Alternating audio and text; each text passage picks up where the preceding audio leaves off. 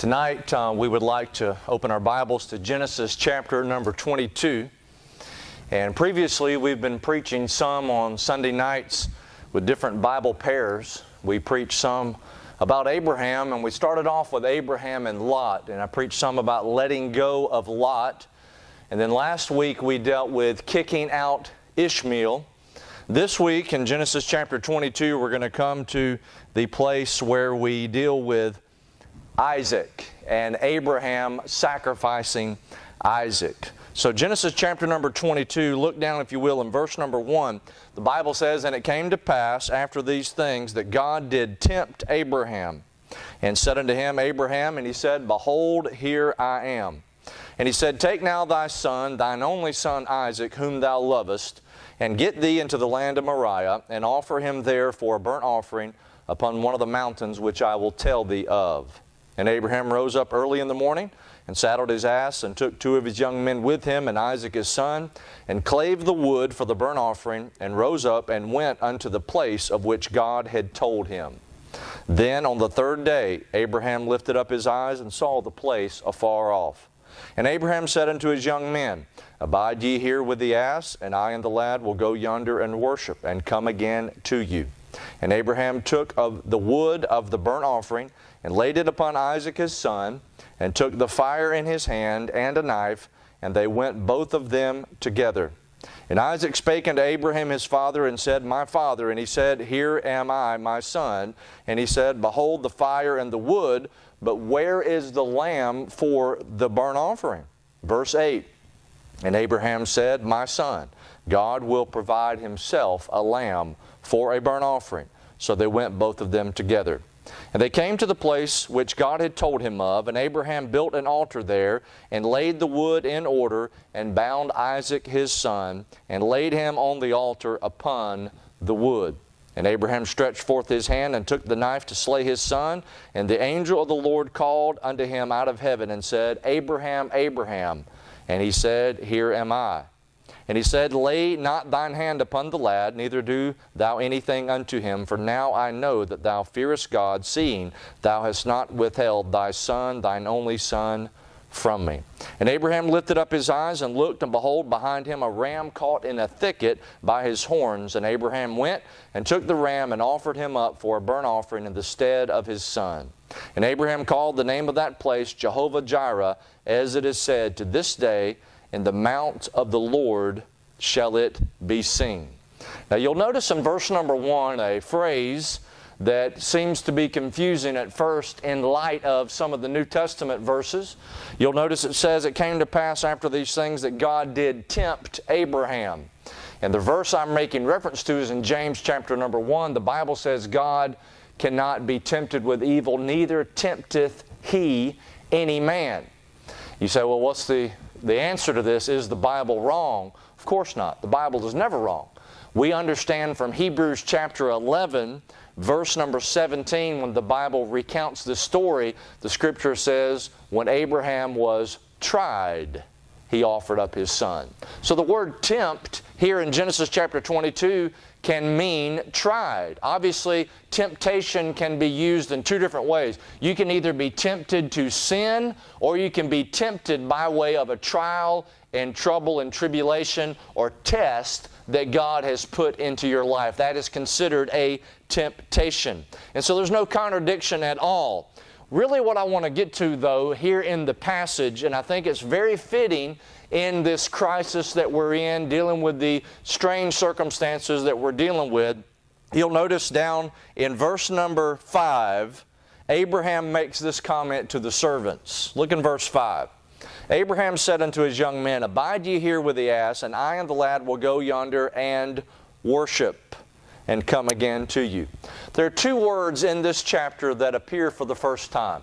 We know when we study the Bible, we want to pay attention to the law of first mention, and Genesis has a lot of those first mentions.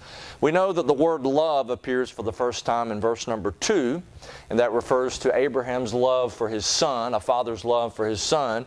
And then we notice that this word in verse number 5, worship, appears for the first time. And so, what is worship? Especially in this crisis that we find ourselves in. Some people think there's no way I can worship God because of this health concern now, we can't assemble in groups and gather in a church building, so I can't worship God. Let me go ahead and clear something up for you. This building here is not holy. There's nothing in the rocks and in the sheetrock and in the carpet and in the pulpit and the wood that is considered quote unquote holy. We are not in the Old Testament.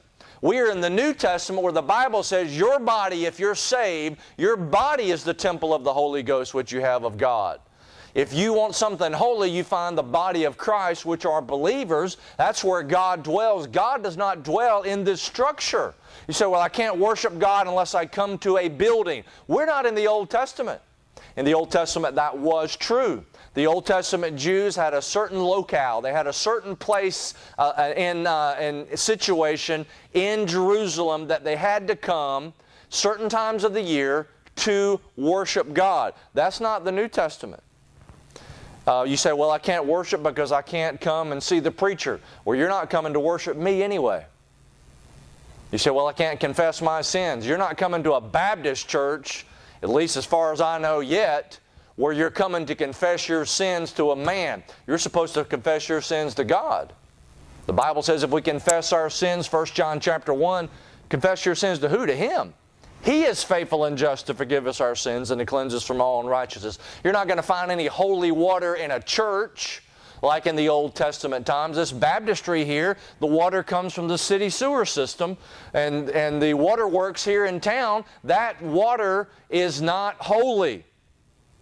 Now, praying, I will give you this. We come together and we pray. We can worship when we pray together. That's corporate worship. I'm not saying we do not worship God when we assemble together and come to church. I'm not suggesting that at all. As a matter of fact, Psalm 66, verse 4 says this All the earth shall worship thee and shall sing unto thee, they shall sing to thy name when we come in and we take the hymn book and we sing songs about Jesus, and some of the hymns actually are like prayers, and we sing to Him, that is indeed a form of worship. I'm not saying we do not worship God when we come to church. But we know Isaac and Abraham, as far as we know from the text, they're not singing hymns. So, what is true worship? John 4, verse number 24, Jesus says to the woman of Samaria, He says, If you worship God, you must worship God in spirit and in truth. There are many people all across this world that are worshiping what they think is God, and they don't even have the truth. If you don't have the truth, you might be sincere and you might have a form of religion, but you're not worshiping God. You might have emotionalism, you might have a feeling, but you don't have the facts. And so, therefore, we need to understand, especially in this day and age, and what we're dealing with where we can't assemble at church together, how can I worship God, preacher? I can't come to church. Now, here's what you want to understand. When you come to church, there's more than taking place than just worshiping God. Although, like I will concede, we do worship God when we come to church. I'm not taking away from that, but that is not the only place. And by the way, if you think coming to church is the only time you can worship God, you are mistaken and you're missing out on what God wants you to do in your Christian life. We come to church, there's a lot more going on. When we come to church, we feed on the Word of God. We feed on the Word of God. We have messages, we have Bible studies, we feed and feast on the Word of God. We also fellowship one with another. We talk to one another. We have prayer requests. Sometimes we have testimonies where we fellowship together. Sometimes we're good Baptists. We actually eat. And we have some good food and fellowship. You also build up your faith when you come to church because the Bible says faith cometh by hearing, and hearing by the Word of God. But we're dealing here in Genesis 22 with worship, and it deals with not faith and feeding, it deals with forfeiting something. Sacrifice. I want to submit to you that true worship is wrapped up in the word sacrifice. Now, God is not asking Abraham for his servant Eliezer. You read later on about his servant Eliezer back in, in over in chapter 24 when he goes to get a bride for his Isaac. He's not for, for his son Isaac. He's not asking for his servant. He's not asking for his nephew Lot, and he's not asking for his firstborn son Ishmael. He's asking here for Isaac. You say, who's Isaac? Isaac is the son of Abraham's heart. Isaac is the son of promise. He had to let go of Lot and he had to kick out Ishmael, but now he's coming to the place where God is asking him to sacrifice that thing and that one person he loves above all else. The first time the word love appears, it refers here to Abraham's love for his son Isaac. I believe Abraham started to love Isaac even before Isaac was born. And as the years pass and as his son grew up here, um, more than likely Isaac is a young man at this point. and as those years grew on and Isaac grew up, Abraham's love for him increased. He realized this is the heir of promise. This is that boy that God told me he's going to have sons, and they're going to have sons, and it's going to be an entire innumerable nation with God's blessing. This is my heir. He was living out his life like many parents do on the ball field sometimes in their kids. He was fulfilling his dreams through his son's eyes. And Abraham had to choose between Isaac and God. A.W. Tozer, the old preacher, said this Things have become necessary to us. Boy, is that not ever true, especially in what we're dealing with now. Things have become necessary to us, a development never originally intended. God's gifts now take the place of God. And the whole course of nature is upset by the monstrous substitution. He says over there in Samuel, it is not God, or I, I, should correct myself, the minor prophets, I believe it's Hosea. He says, It is not God. And when you run the reference to Samuel, they bring out the Ark of the Covenant that it may save us from our enemies, Israel says. It is not God. This church building is not God. And if you can't carry on as a Christian just because we can't assemble, on Sundays and gather together, there's something lacking in your faith. And I want to encourage you along this idea of true worship. You need to know what true worship is. You should be worshiping God not just on Sunday morning at 11 o'clock, but you should worship God on Tuesday and on Monday and on Thursday and on Saturday and on Friday. We should worship God in spirit and in truth. It's not just some church thing, some form of religion where you walk in and all of a sudden this halo pops on your head. Some of you are having a hard time when you come in to get your halo in over your horns. It's a crazy thing in our culture and society today where people think just because they come to church, they've done God a favor. They blow God a Sunday morning kiss, and now they want God to leave them alone the rest of the week, and they'll live just like they want to live, live like hell, and then walk in on church and say they worship God. They did God a favor. You didn't do God a favor. When you come in church, you get some preaching, you get some teaching, and hopefully God the Holy Spirit rings your bell and gives you something to help you go out into this world and worship God in spirit and in truth. Now, A.B. Simpson said this, similar to Tozer Once it was the blessing, now it is the Lord. Once it was the feeling, now it is His Word. Once the gift I long for, now the giver own.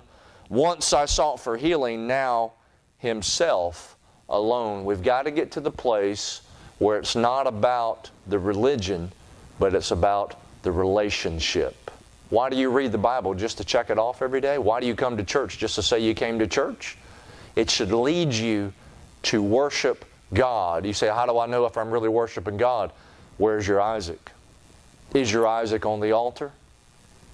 If your Isaac is not on the altar, I doubt that you are worshiping God. If you are going to move forward in your Christian life, this is a great thing for us because we have to really see how serious we are in our faith? Are we going to take the baby steps and say, you know, I'm not being spoon fed anymore. I may have to read my Bible on my own. I may actually have to get my kids around and actually pray with them and, and hopefully point them to God so they can realize there is a God, not just because we load up and go to church on Sunday morning. Sometimes the only thing that kids realize, the only time they realize there's a God in their life is when they pile in the car and come to church. My brethren, these things ought not so to be.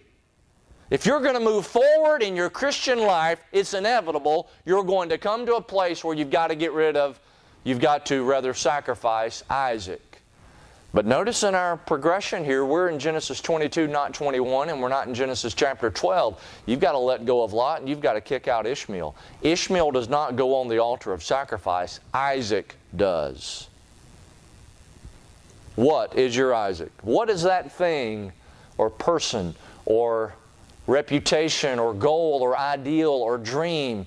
What is it or sin that you've harbored in your heart? Maybe it wasn't even originally a sin, but you have taken something like an Isaac and you've elevated him above God. God is supposed to be worshiped with all our heart, soul, and mind, but you've gotten something just a little bit higher than God. Even if it's only a very small bit higher than God, it's an idol. And it becomes an Isaac that needs to be sacrificed. So I want to look at this for just a few minutes here. Notice in verse number 2, sacrificing Isaac is a command, not a choice. We, as American Christians, we really don't need church. It's just something we do to kind of feel good about ourselves and those kind of things. Like I mentioned in the previous message, I think after all of this is over, we're really going to appreciate being able to gather together to see our brothers and sisters in Christ face to face, be able to kneel down together and pray, be able to shake a hand without worrying about getting a sickness, and be able to sing together, hear some testimonies. It's going to be more precious. We take it for granted. But for us, it's just like, well, I can just choose to do this or I can just choose. No, if you're a Christian, a Christian should be like Abraham. When God speaks, you obey. A Christian is a disciple. And so it's not a choice, it's a command. The singleness of this command, there's no other option in the passage. He doesn't go through some things and say, okay, here's choice number one, choice number two, choice number three, good, better, best. Or throw a Romans chapter number 12, good, acceptable, the perfect will of God. If you want to just do the good will of God, you can slide in. You're going to heaven anyway, so just do the very minimum that you need to do as a Christian and you'll still get in. No, that's not even in Abraham's thinking. God says, I want Isaac. Abraham says, okay. The singleness of this command. Notice the strenuousness of this command. This is not an easy thing to do. Salvation's easy, sacrifice is not, and it's never intended to be easy. The old hymn says, Must Jesus bear the cross alone and all the world go free? No, there's a cross for everyone, and there's a cross for me. It's a command, not a choice. Notice also it's an exercise of faith, not feeling. In Hebrews 11 19, you don't have to turn, I'll read it. The Bible says about Abraham, accounting that God was able to raise him up even from the dead, from whence also he received him in a figure. Here's what's taking place with Abraham Abraham has faith that if God tells him to sacrifice Isaac, since he already made the promises that he's going to give Isaac a son and his son, son, son, son, all the way down for all these generations, that if God is telling him to sacrifice him, surely he's just going to raise him up from the dead. After all, wasn't Sarah's womb a dead womb? Wasn't his reproductive powers dead? Did not he receive him from the grave already one time anyway? So he has faith. It's an exercise of faith. This is not about feelings. And I'm telling you, we are an effeminate generation. Nothing against you ladies. Thank God you ladies are sensitive, and you should be, and you have more touchy feely feelings than us men do. But I'm telling you, this country and this world has become so sensitive to all this junk instead of being sensitive to the Holy Spirit. It's all about our own feelings, how we feel about it. Abraham's not even thinking about how he feels. A disciple, a Christian, is like a soldier that says, okay, these are my orders. It really doesn't matter if this inconveniences me. My orders come from headquarters, so whatever he wants me to do, I'm going to do it. He has to battle some sentiments. Notice it's against reason. It doesn't make sense. It's not reasonable at first. It doesn't make sense for Abraham to take his son and kill him. Notice it's against reaction. How's Abraham supposed to keep Isaac safe as his protector, as his father, but yet he's sacrificing him? You see, that's where faith and that's where trust are entering into. Oftentimes, like I mentioned in the last message, we don't want to lose that little bit of control we think we have, that little bit of safety net that we have. We think we're balancing things out. And really, when you, when you look at it from God's perspective, He's actually controlling the safety net and keeping everything afloat. You just are deceived into thinking that you are, and in being deceived in thinking that you're controlling things, you're not exercising faith. It's against reason, it's against reaction, it's also against his quote unquote rights. Isn't Abraham his father?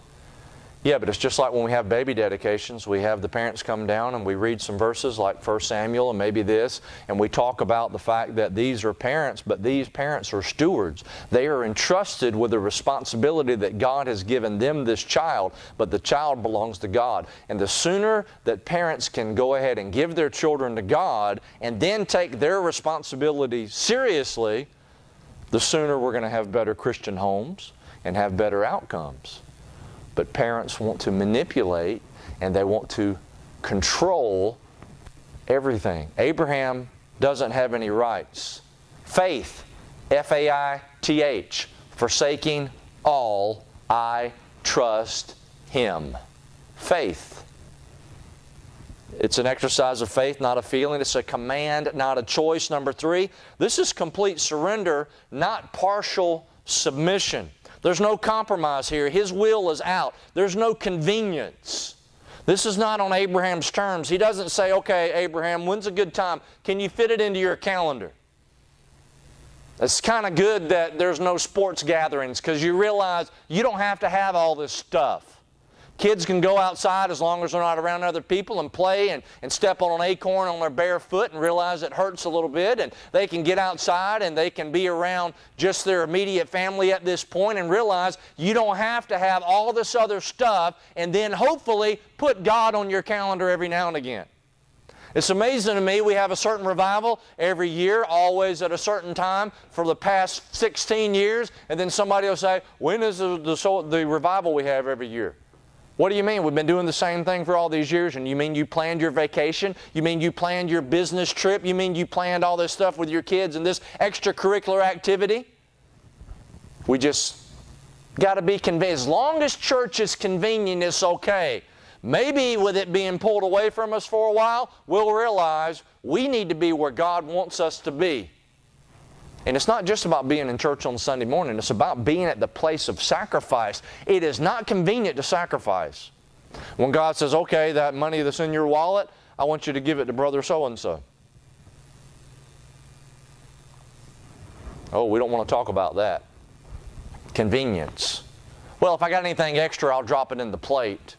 Instead of actually purposing in our heart what we want to give according to the Bible and giving cheerfully and saying, How can I participate in the ministries of the church? How can I help these missionaries that are going overseas? Instead, we just wait to the very last minute and, oh, oh, uh, let me see what I got. I got five bucks, I'll throw it in there. Convenience. Everybody wants to serve God in convenience. You know, the night before, I guarantee you, Abraham I don't know, the Bible doesn't tell us this, so I'm not going to throw Abraham under the bus and talk bad of Abraham, but if it were me or you, and I guarantee you, some of you parents here, if you had that option, you probably would say, okay, Lord, can we reason this thing out? And Lord, I would willingly lay down my life instead of my child. There are many parents that would die for their children, and rightly so. But God doesn't want Abraham to sacrifice himself, He wants Abraham to sacrifice Isaac.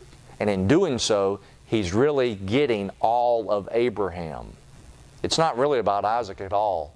It's about Abraham giving himself and his will to God. There's no canceling this thing out, there's no backing out. I mentioned in Samuel there, in baby dedications, we use the passage dealing with Hannah and how she gives Samuel to the Lord. And whenever he got old enough and she weaned him, she did not back away from her promise. She brought him and dropped him off and let go and left him.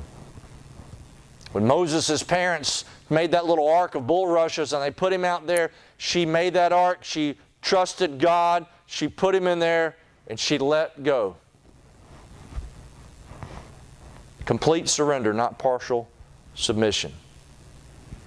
Many times Christians make commitments instead of surrendering. When you make a commitment, you can kind of sign the dotted line. It's like, okay, I'm going to commit this far, but I'm going to hold this back. When you surrender, you say, okay, God, you got it all. The best thing to do is to hold your hands up and say, all right, Lord, whatever you want. Take my life and let it be consecrated, Lord, to Thee. Now, the testings of life teach us many things. You'll notice here in verse number 8, there's a great revelation in the King James Bible because of the wording. Notice Abraham said, My son, God will provide Himself a lamb for a burnt offering. I love how that's worded. It's not just that God will provide a lamb in place of you, but the phrase, how it's worded, is God will provide Himself a lamb. In my mind's eye, I go to John the Baptist on the banks of the Jordan River where he pointed that finger and said, Behold the Lamb of God, which taketh away the sin of the world. The testings of life teach us a lot of things, not just about God and His plan, but also a lot of things about our, ourselves. A.W. Tozer said, Abraham had everything, but he possessed nothing. Does your bank account have you or do you have it? Your possessions that you have, do they belong to God? There are two responses from this passage, I believe, that we can take from this. Some of you, you need to understand what true worship is, especially in a time like this. You can worship God even though we can't collectively assemble. And worship is sacrifice. When the lady brought the alabaster box of ointment, it was a year's wage. And she took that box and she busted it, and the fragrance went on Christ. And it was sacrifice spilled out, wasted in the world's eye in the disciples' eye, even, a lot of Christians will look at your sacrifice for Jesus and they'll say, You mean you do all that? You mean you go back to church on Sunday night? You mean you read your Bible? You mean you actually give your money to missionaries? You give money to church? You mean you do without such and such? You don't let your kids participate in such and such? Sacrifice. Romans 12, 1 and 2 Paul says, I beseech you, therefore, brethren, by the mercies of God, that, that you present your bodies a living sacrifice, holy, acceptable unto God, which is your reasonable service. And be not conformed to this world, but be ye transformed by the renewing of your mind, that you may prove what is that good and perfect and acceptable will of God. To sacrifice to God as a Christian is still a command. And you're never going to get to that place in your Christian life where need to be in your relationship with Him until you come to the place of sacrifice. And it's not letting go of Lot, and it's not kicking out Ishmael. He wants a clean sacrifice, a holy sacrifice, Romans chapter number 12. He says, Be not conformed to this world. The world tries to tell you what worship is all about holding up your hands, kumbaya, my Lord, kumbaya. That's not worship. He says, be transformed. That's from the inside out, not changed from the being conformed to this world and trying to do what all the churches are doing, trying to do what all the Christians are doing and taking on all of this worldliness, but being transformed by the Bible on the inside, changing us. He wanted Isaac, not Ishmael. I read of a missionary lady that she was in India and she came to the Ganges River.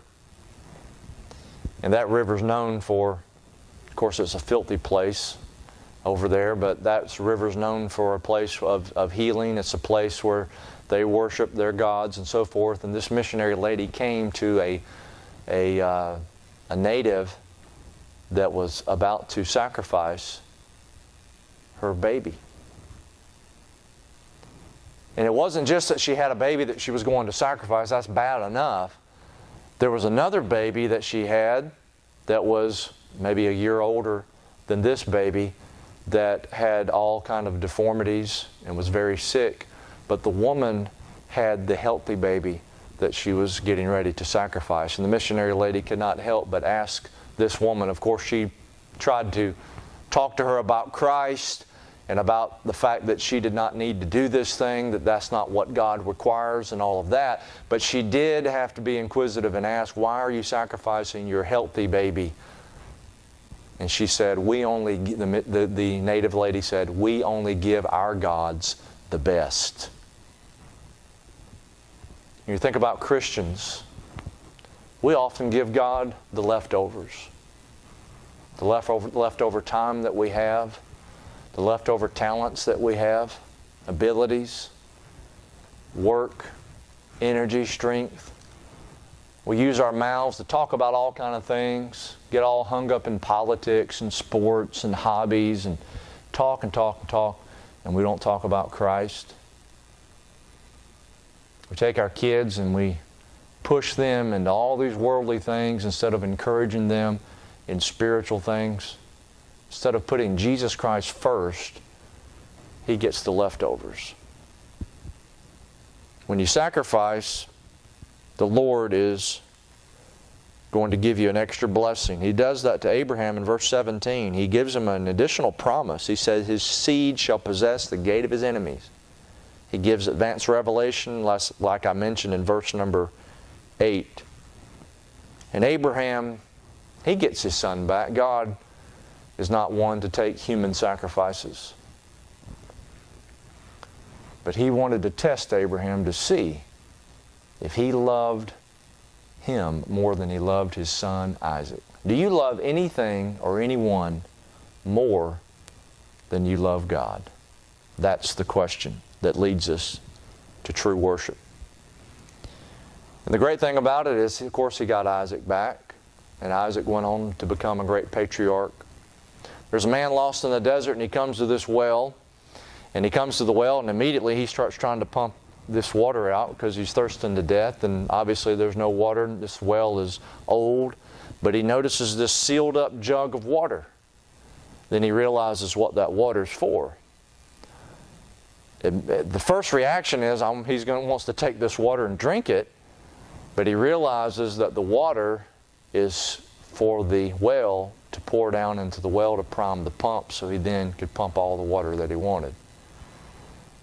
The lesson is you've got to be willing to give it all away before you get anything back. Just a suggestion maybe in our Christian walk with Christ, the reason we don't have the richness of experience that we should have is because we really haven't been worshiping God in spirit and in truth. We haven't come to the place where we've put Isaac on the altar. Let's pray. Father, I thank you for this great text.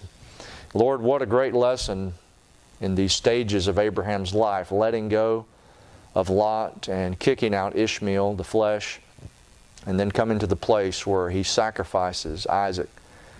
Lord, I pray that all of us would realize the depth of our Christian life and how it should be at that place of sacrifice. Lord, we can't worship without sacrifice. We want power and we want revival, but we're not willing to lay everything down. God, I pray that you may convict us of this. Help us to realize this is not a choice, this is a command, and we're going to be better off for it.